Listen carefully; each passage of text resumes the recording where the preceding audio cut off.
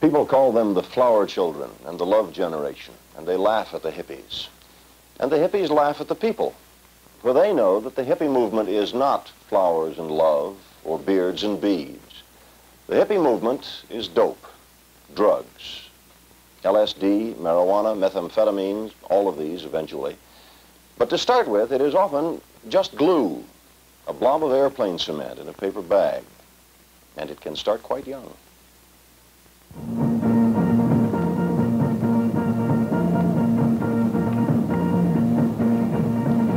Her name is Debbie. She's been sniffing glue since she was 10. She is now 13.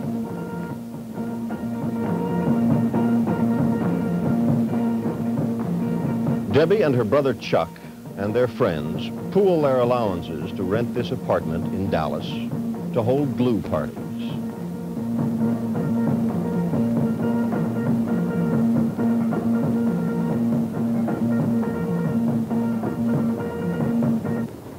And their mother sits at home, knowing vaguely what her children are about with their glue parties, but only vaguely. These two seem to do nothing and have no feeling of responsibility. However, I don't understand it. It has only occurred within the last two or three years since the death of their father.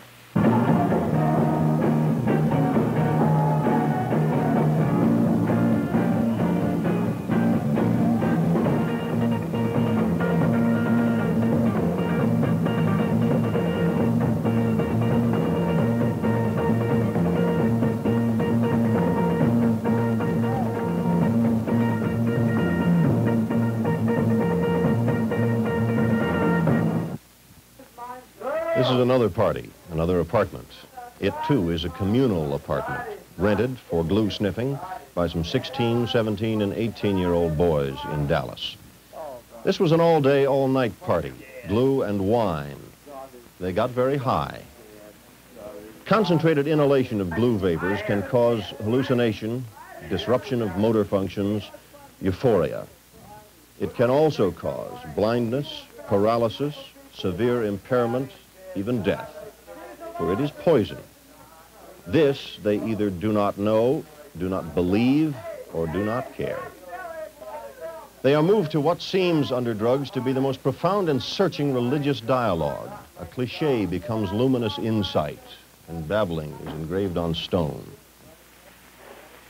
God is not There is nothing but drugs. God is not acid. God is God is hot. God is He's in Mexico. He's God is grass. God is everything. God is in Mexico. He's fooling God you, is everything beautiful. God is good. He is. He God is good. everything beautiful. God is what you make him. God is Right. dead. God is good. God is not dead. God is not. God is what you make him. Right. To some people, they say God is dead. God, Because some someone people- came to them and told them that they were God. Yeah. And they were killed, so God is dead. Mr. Ray is not God. No. He thinks he is. Acid is not God. God is in his person. I think God is everything. You God, God is God is that chair. Yeah, God is the so. I don't think so. I think God is that feeling. You don't think so. I think so. So I God think is what I God is- think it is. God is God is what you think it is. God is not what Do it again. Do it again. You see it? Glue is the start. Not long after this party was held in Dallas, some of these young people would find their way to marijuana, to LSD, to the hippie hovels of the Haight-Ashbury in San Francisco. There as here, chasing hallucinations and finding agony. Uh, uh, uh, This is the agony of crashing. He has been very high and is crashing very hard. This is the physical and mental anguish of withdrawal from the poisonous effects of the glue vapors.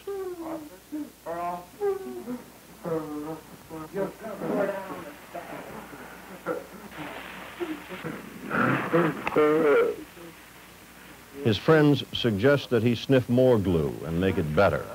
He does, and makes it worse.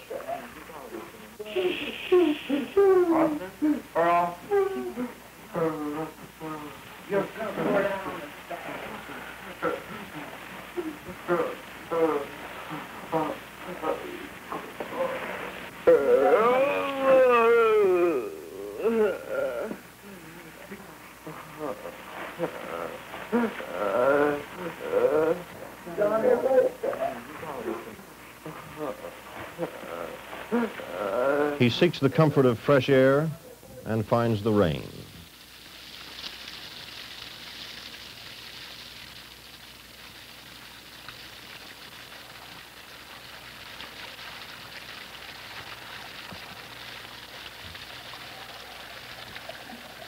There is an informed estimate that one million American teenagers use drugs.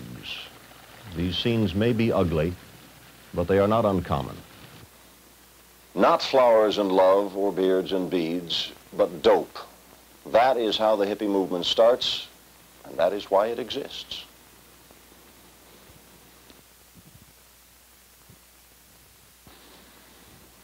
Sniffing glue in an apartment in Dallas was the beginning for Donnie and Chuck and White Eyes, but it was only the beginning. A man came to their apartment offering them marijuana and LSD. They took it and wanted more. He said they should come with him to San Francisco.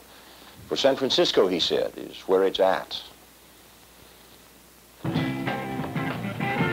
In San Francisco, when a few people gather on Hippie Hill, there is marijuana, pot,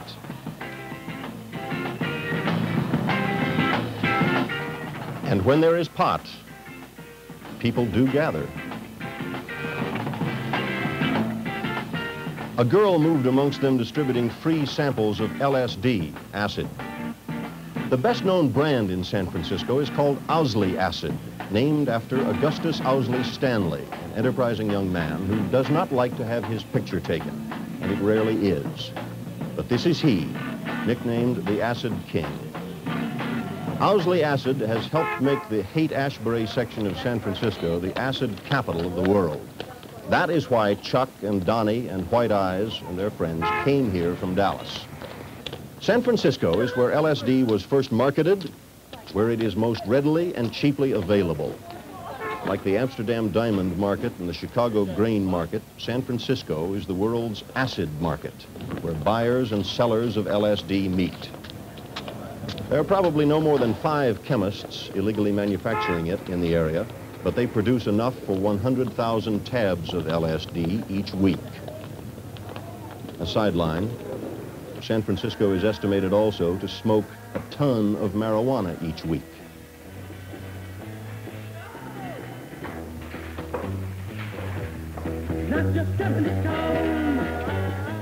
Donnie and Chuck and White Eyes told their parents in Dallas they were coming here to play in a band. They came for acid and pot.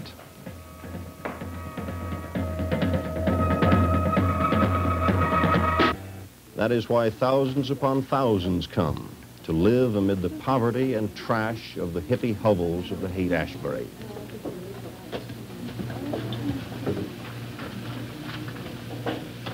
Give me your tired, your poor, your huddled masses yearning to breathe pot.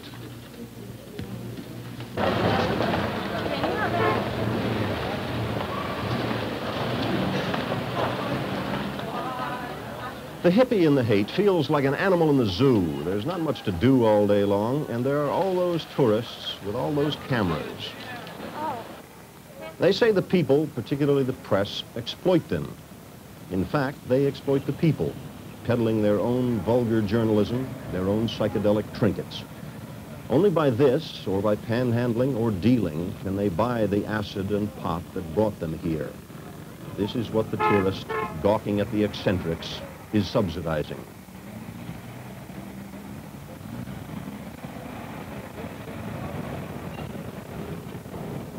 There is an undefined sociological relationship between taking dope and protesting.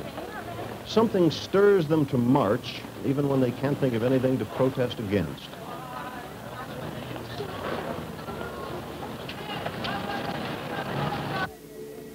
In the park of a bright afternoon, there is a hippie wedding. The preacher is a man called Teddy Bear. He is a dope dealer. LSD washed down with wine is the only sacrament. There are no vows. She will be his woman for as long as they feel like it. Frank, you take Cassie to be your woman? Yeah. Be your wife? Yeah. You married before God and before the people.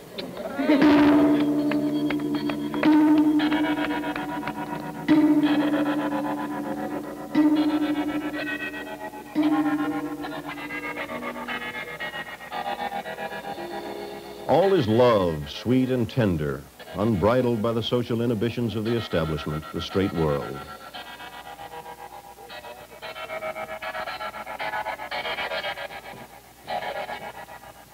Another couple wanders by, is moved by the spirit, and they decide they too should get married. And it all seems so typical of the hippie movement. But Teddy Bear here knows better. He told a reporter, there never were any flower children. It was the biggest fraud ever perpetrated on the American public, and it is your fault, you, the mass media. This community, he said, is not based on love. This community is based on dope.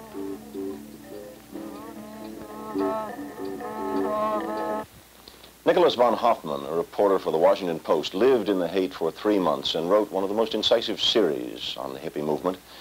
He said, there are conservative and liberal hippies. There are hippies who hate the establishment and those who are indifferent to it. There are hippies who love money. There are hippies who love love. But if the word means anything, he wrote, it means a hippie dealer. Of the three boys we saw from Dallas, two were arrested on marijuana charges and given three years probation. The other was sent home as a runaway.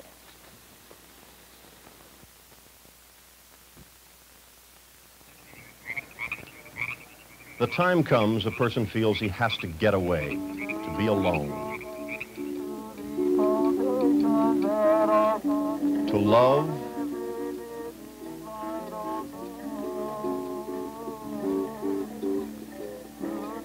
to study,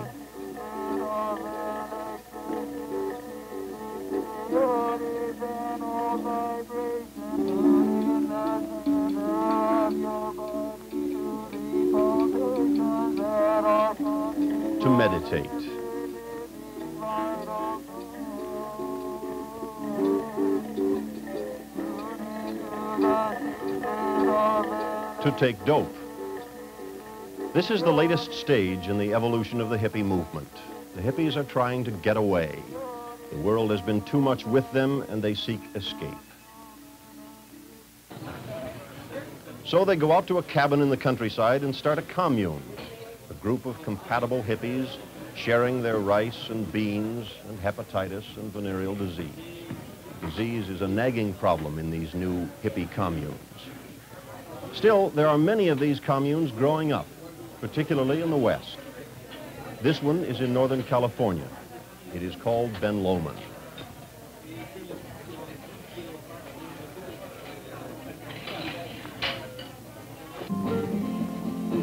Here, perhaps to the accompaniment of a visiting rock band, they can get away from the tourists and the reporters who badger them in San Francisco, from the rents and bills and cost of living in a big city, and from the police.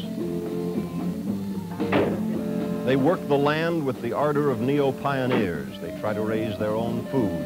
They try to be as self-sufficient as they can. For that way, what money they get, they don't have to use to buy meat. They can buy drugs. The drugs are illegal. The children, the second generation of hippies, are mostly illegitimate. A mother said she gave her 20-month-old baby LSD, and if the straight world doesn't like it, they don't care.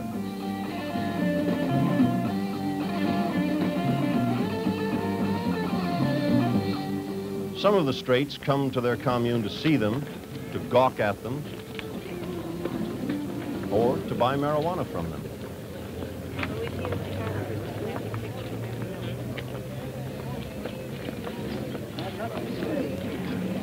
A lid of pot, $5.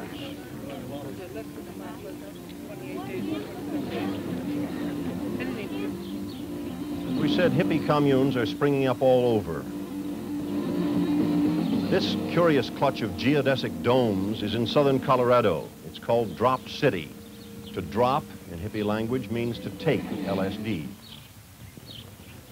And that is what they are doing here, again at the commune in Northern California, dropping acid, taking LSD. It is so much freer and it is so much easier out here. What will follow this dispersal of the hippie movement to the countryside is hard to predict.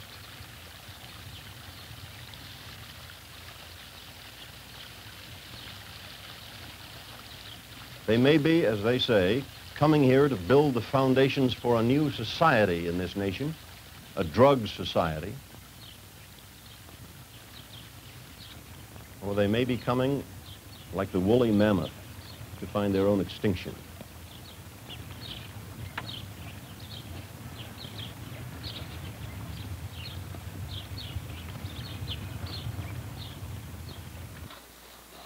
Some hippies believe the greatest allies they have in spreading dope throughout this country are the mass media of this country. Every day the radio plays drug music, Get Yourself a Little Green, Day Tripper, and the teenagers get the message from these. They know that green is marijuana, a trip is a drug experience. They don't need Captain Midnight decoder rings to figure it out. In magazines, they see psychedelic fashions inspired by drugs. On television, they see comedians lightly joking about taking pot and turning on. And even that straightest of all straights, Perry Como, innocently presents a psychedelic number which for six minutes looks like a coast-to-coast drug hallucination. Whatever the motives of all this, the message teenagers get from it, they say, is that drugs are fun and that they are what's happening within people. Hippie leaders say they cannot set the climate for a drug culture in this country by themselves. The mass media must help spread the word. And they believe that the mass media are doing it.